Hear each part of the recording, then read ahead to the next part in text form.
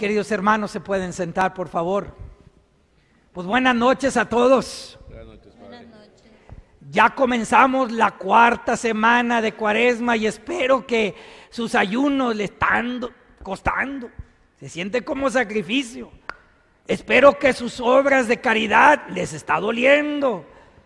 Que sus oraciones los están cantando, cansando.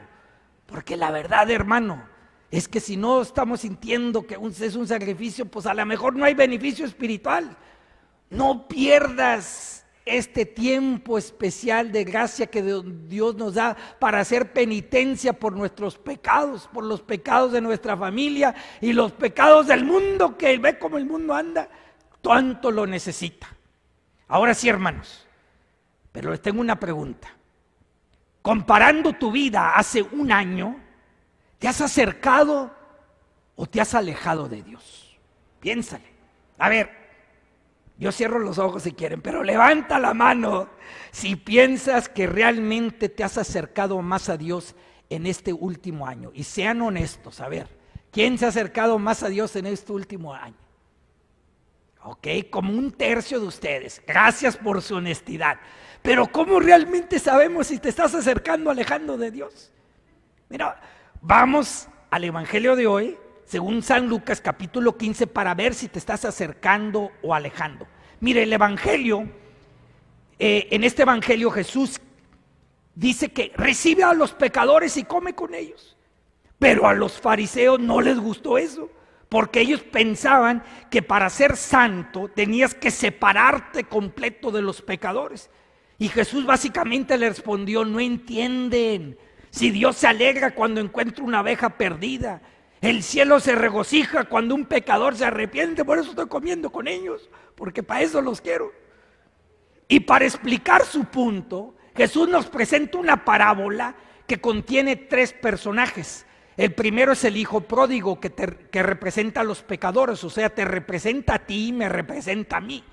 El segundo es el hermano envidioso que representa a los fariseos y escribas. Y el tercero es el Padre misericordioso que representa a quién? A Papá Dios. Ahora sí, vamos a enfocarnos en la persona del Hijo pródigo, quien tomó cuatro pasos para alejarse de, de su familia y también mínimo cuatro pasos para acercarse. Escucha a ver si te estás alejando o acercando. Paso número uno para alejarse de Dios, el rechazo de su Padre. En el versículo 2 el hijo menor le dijo a su papá, Padre, dame la parte de la herencia que me toca. O sea, Padre, yo quiero mi herencia ya hoy. No me quiero esperar hasta que te mueras. De hecho, yo prefiero que estés muerto. Dame mi herencia ya hoy. Yo ya estoy grande, yo ya necesito tener mi propio dinero. Dame la herencia ya. Fíjate. El hijo en pedir su herencia implica que, quiere que su papá se muera. Era un rechazo del papá. Imagínate el dolor del papá que digo, oye, ya me quieres muerto, que dame mi herencia ya hoy. Y aquella persona que piensa que no necesita a Dios, ya, ya tomó también el primer paso alejándose de lo que se llama el rechazo del padre. Quizá alguno de ustedes tiene un hijo que ya ni les habla, que ya ni quiere estar con ustedes, que te prefiere muerto. Mira, papá, ya dame tu, la herencia, hoy ya ni te quiero. Yo, he visto familias así, ¿eh? Los hijos que toman eso ya tomaron el primer paso alejándose de, no solo de su familia, pero también de, de Dios. Paso número dos para alejarse de Dios, la separación. El versículo 13 dice, el hijo menor juntando todo lo suyo, se fue a un país lejano. Fíjate, el irse a un país lejano Quiere decir romper con mis raíces, romper con mi tradición, romper con toda mi familia. La persona que dice, yo ya no quiero ver a mi familia, ya me voy. Es que algunas personas, especialmente los adolescentes, tienen, ya, tienen gran prisa para salirse de su casa, irse a un país lejano. Significa separarte de, de la manera de vivir, de pensar, de actuar, de orar que se te enseñó. Quiere decir alejarte de tu fe. Quizá hay algunas personas que el irte a un país lejano también significa vivir a, venirte a vivir a casa Pedro. Fíjate. Conozco gente que ha dejado su, su país natal, como yo, y se viene a vivir aquí a San Pedro buscando la felicidad y algunos buscando el amor ahí a ver qué beliceño los ama. Irte a un país lejano representa ir en busca de la felicidad y el amor en lugares donde no se va a encontrar. En la cantina, Dios mío, ¿cuándo lo vas a encontrar? Es un rechazo también de la casa de Dios, como tu casa. Yo ya no quiero ni ir a la iglesia. Es una respuesta a esa voz falsa que dice, sal y demuestra que eres alguien que tiene valor, demuestra que eres alguien que vale la pena amar. Y el padre no podía forzar a su hijo a quedarse, no podía forzar su amor y lo dejó que se fuera. La persona que se separa de las personas o familia o comunidad o iglesia que los ama, esa persona ya tomó un segundo paso grande, alojándose de Dios. Paso número tres, vivir como libertino. En el versículo 13 dice, se fue a un país lejano y allá derrochó su fortuna viviendo de una manera disoluta. O sea, este hijo se fue de su casa, vendió la parte del rancho y la tierra que le correspondía, tenía mucho dinero, mucho orgullo, determinado a vivir su, vida en un país lejano. y el hijo no fue a ganar dinero, sino a gastarlo. Este sabía gastar, no hacer. y no sabía invertirlo. Y en otras palabras, andaba, se puso nomás de parranda en una vida de derrocha, de disipación, mira, bien cuete. O sea, una vida, la vida loca, como viene la canción. Se puso, y hay gente que nomás viene a San Pedro a vivir la vida loca. Y ahí se dedican a eso. O sea, vivía como un libertino. Si tú dices es que yo quiero hacer lo que me da la gana, yo quiero gastar mi dinero como se me da la gana, si la, y la gana te dice que escojas el adulterio, la fornicación, la pornografía, el vicio, entonces tú ya tomaste un paso que se llama el libertinaje. Fíjate, anoche en Life Teen, aquí con los jóvenes, tenían un tema sobre la pornografía. Y si estás tú adicto o esclavizado por la pornografía, ya estás viviendo una vida de libertino, pero quizá escondida así, pero ya la estás empezando a vivir. Hermanos, yo cuando estaba en la universidad, yo llegué a este punto. Yo viví esa vida de libertino. Viví esa vida. Pero luego sigue el paso número cuatro, el peor. Paso número cuatro, alejando de Dios. Es perder tu dignidad. Versículo 14 a 16 dice, después del malgastarlo todo sobrevino en aquella región una gran hambre y él empezó a padecer necesidad y entonces fue a pedirle trabajo a un habitante de aquel país, el cual lo mandó a sus campos a cuidar cerdos. Tenía ganas de, de hartarse con las bellotas que comían los cerdos, pero no le dejaban, no lo dejaban que se las comiera. Wow. Mira, la economía de ese país entró en una depresión y ya no había trabajo. Y porque se había gastado todo en la parranda, en la fiesta, ese hombre pensó a sentir que gran hambre y necesidad. No tenía ni la prudencia de invertir lo que se ganó el tonto. ¿Y qué hizo? Buscó trabajo, pero lo mandaron a cuidar cerdos, pues ni trabajo había ahí. Quizá para nosotros el cuidar los cerdos pues no es nada malo, pero para un judío el cuidar los cerdos es el peor de todos los trabajos. Es algo que hacían solo los esclavos. Ellos, ellos ni comen la carne de cerdos. Es un animal que se considera impuro y que tengan que cuidarlos. No manches, es una cosa terrible para ellos. O sea, ese hijo estaba dispuesto a trabajar en lo que sea, aunque perdiera su propia dignidad. Por ejemplo, aquellos hombres que están dispuestos a trabajar en el narcotráfico, en el narcotráfico o en el crimen organizado.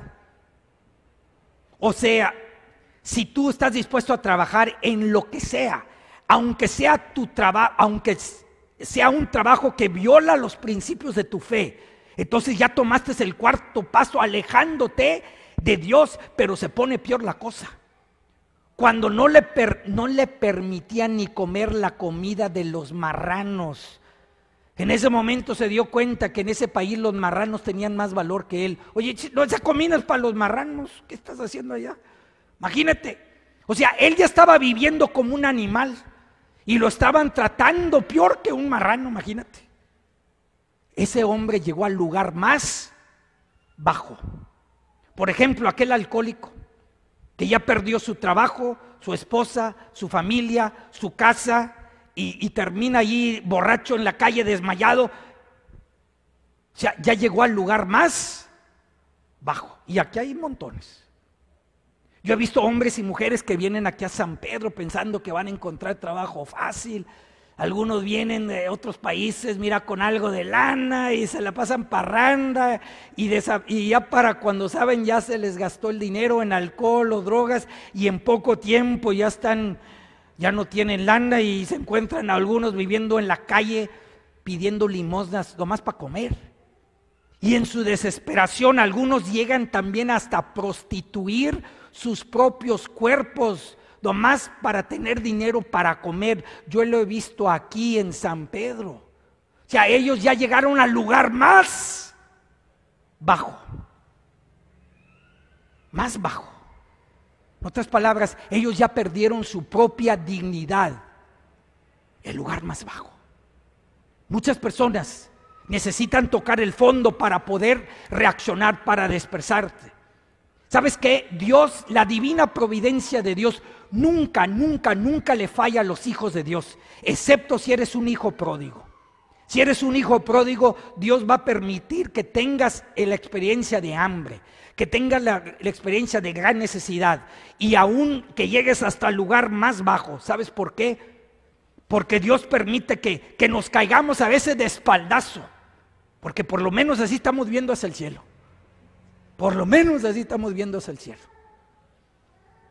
Había perdido su dinero, sus supuestos amigos, su reputación, su respeto, su familia. Pero gracias a Dios que la historia no termina ahí, porque ahora viene regreso a la casa de su padre. Y el hijo tomó también por lo menos cuatro pasos para regresar a su padre. Paso número uno, número uno de regreso a la casa, la autorreflexión. Versículo 17 dice, se puso entonces a reflexionar y se dijo, pues cuántos trabajadores en la casa de mi padre tienen pan de sobra y yo aquí muerto de hambre. Hermanos, al fin se puso a pensar ese muchacho. Al fin hizo una autorreflexión de su propia vida. ¿Has parado tú más a reflexionar sobre tu vida? Oye, ¿qué estoy haciendo con mi vida? ¿Cuál es el propósito de mi vida? ¿Qué es el plan de mi vida? Mira, yo tomé este paso de autorreflexión cuando estaba en la universidad, cuando murió mi hermano en 1986. Me despertó de voladita. ¿eh? Paso número dos, de regreso a la casa del Padre. La gran decisión Así la llamo yo. La gran decisión. El versículo 18 dice, a ver, por favor repitan después de mí, me levantaré y volveré a mi Padre. Y volveré a mi Padre. Esa es la gran decisión. El hijo estaba, estaba practicando también de qué decirle a su papá, porque creía que su padre exige explicaciones Pensaba que su amor era condicional. No, mi padre va a tener, voy a tener que dar explicaciones. Hermano, el amor incondicional de Dios no exige explicaciones. Pero todo depende que tú tomes la gran decisión de regresar a Dios, de regresar a aquel que te ama. Me levantaré. Yo decido dejar de tomar. Yo decido dejar de usar las drogas. Yo decido de, ser fiel. Yo decido confesar mis pecados. Yo decido ir a confesarme. Yo decido regresar a Dios mi Padre. Regresar a la iglesia.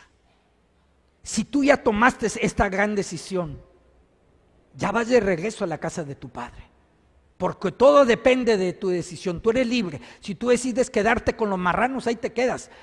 Pero tú puedes decidir cambiar tu vida. Y si tú decides eso, ya te estás acercando a Dios.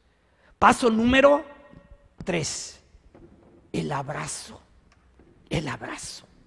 Versículo 20 dice, enseguida se puso a caminar hacia la casa de su padre. Estaba todavía lejos cuando su padre lo vio y se enterneció profundamente.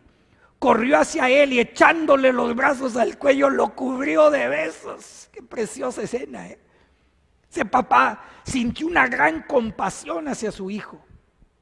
Recuerdo que cuando yo llegaba a la casa después de un viaje largo, mi mamá salía y me daba un abrazote y un besote. Y yo sentía su amor incondicional de mi madre. Y así, así es Dios Padre. Así como este papá que corre y te así es Dios Padre. El padre lleno de compasión corrió, abrazó y besó a su hijo. Ese es el corazón de Dios. Ese es el ese es el corazón de Jesús. Piénsale. Ese hijo probablemente, mira, olía feísimo. Pues a puro marrano, ¿verdad? todo sucio, todo pestoso, todo feo. Pero eso no le importó al padre. Él, mira, le dio un abrazote y un besote. No me si hueles como perfume para mi hijito. Lo único que le importaba a ese padre era que su hijo que estaba perdido ahora estaba encontrado. Aquel hijo que antes estaba muerto ahora había regresado a la vida. Para él estaba vivo ahora.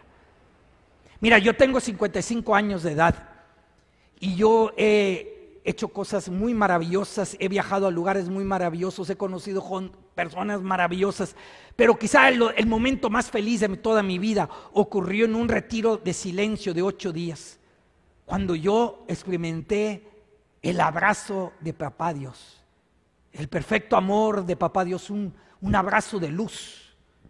Y fue un momento tan especial que yo, yo ni quería que terminara. ¿Sabes qué? Tú y yo Fuimos creados para el abrazo de Papá Dios. Ese abrazo te espera, te aseguro, ese abrazo te espera, hermanos. Y si tú regresas a Dios, así es como Dios te va a recibir.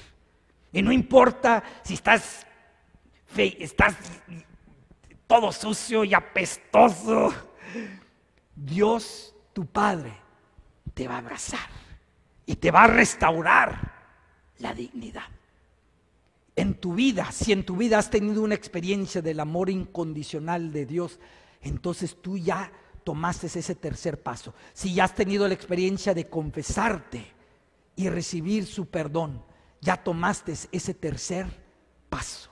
Paso número cuatro. La confesión y la fiesta. En el versículo 21 el hijo pródigo confiesa su pecado. Padre, pecado contra el cielo y contra ti. Ya no merezco llamarme hijo tuyo. A ver, por favor, repitan después de mí. Padre, he pecado. Padre, he pecado. Contra el cielo. Contra el cielo. Y contra ti. Y contra ti. Fíjate. Esa fue su confesión. Pero aquí nos enseña que hay dos dimensiones a todo pecado. Es un pecado contra el cielo pero también contra los que están a nuestro alrededor. Esa fue su confesión. Pero fíjate cómo el padre responde, versículo 22 al 24. El padre le dijo a sus criados, pronto traigan la túnica más rica y vístanselo. Póngale un anillo en el dedo y sandalias en los pies. Traigan el becerro gordo, mátelo, comamos, hagamos una fiesta. El hijo confesó su pecado, pero el padre no lo castigó, no lo rechazó, no lo regañó. No, el padre respondió con una gran, restaurando su dignidad y haciendo una fiesta para su hijo. Y Jesús nos asegura que cuando un pecador se arrepiente en el cielo también hay una gran fiesta similar a esa. Hermanito, hermanita, ya les di los cuatro pasos de ida y de regreso les pregunto de nuevo, ¿te estás alejando o te estás acercando a Papá Dios? Si te estás alejando y es hora de hacer unos cambios, de darte una vuelta y empezar a caminar hacia la Padre, tú tomes esa decisión. Ahora, si ya estás cerca de Dios, entonces ten mucho cuidado. No respondas con la ira y la envidia del hermano mayor que no quería atender la fiesta a su hermano. Vamos a terminar viendo cómo el padre le responde al hermano mayor. Está precioso. Versículo 31 dice, el padre repuso, hijo, tú siempre estás conmigo y todo lo mío es tuyo. Me encantan esas palabras. Todo lo mío es tuyo. Qué precioso. Fíjate, en el tiempo de Jesús los rabinos judíos enseñaban que hay cuatro tipos de personas en el mundo. El primer tipo de persona, ellos decían que es el que dice, lo mío es mío y lo tuyo es tuyo. Ese es el tipo de persona pagana. Eso es tuyo, esto es mío y no te metas con lo mío. Segundo tipo de persona es el que dice, lo mío es tuyo y lo tuyo es mío. Y ellos dicen, hombre, ese es un tonto. Ahora, el tercer tipo de persona dicen que es el que dice, lo mío es mío y también lo tuyo es mío. Dicen, ay, no, ese es el malo. Ese sí es malo. Ese sí es malo. Pero el cuarto tipo de persona, dicen que es el que dice, lo mío es tuyo y lo tuyo es tuyo. Fíjate, esa es la persona que realmente ama. Ese es el corazón de papá. Mi hijo, todo lo mío es tuyo. ¿Cuándo fue la última vez que le dijiste a tus hijos, mis queridos hijos, hija, hijo, todo lo mío es tuyo? Es tuyo. Piénsale. Eso es amor incondicional. Quiere, quiere dar aún más. Todo, todo lo mío es tuyo. Si tú eres un papá, yo te invito a, que reúnas a tus hijos un día y les digas, mijitos, mijitas, todo lo mío es tuyo. ¿Y sabes qué? El Señor Jesús realmente es nuestro hermano mayor aquí presente. Y Él, muy diferente de aquel hermano, Él sí sacrificó todo para que nosotros regresáramos a la casa del Padre. Ese sí es un buen hermano. Este es el hermano mayor que tenemos. Aquel que dio todo para que estuviéramos en la fiesta del celestial del Padre. Mi oración para ustedes es que tú tomes un paso grande regresando a la casa de tu Padre. Es que en ese camino tú también experiencies, eh, tenga la experiencia del abrazo, de perfecto amor de tu Padre. Y que tú realices, te des cuenta que Dios, nuestro Padre, te ama con un amor incondicional. Y te dice a ti hoy, todo lo mío es tuyo. Por favor, regresa a tu casa. Regresa a tu casa. Gloria al Padre, al Hijo y al Espíritu Santo, como era en el principio, ahora y siempre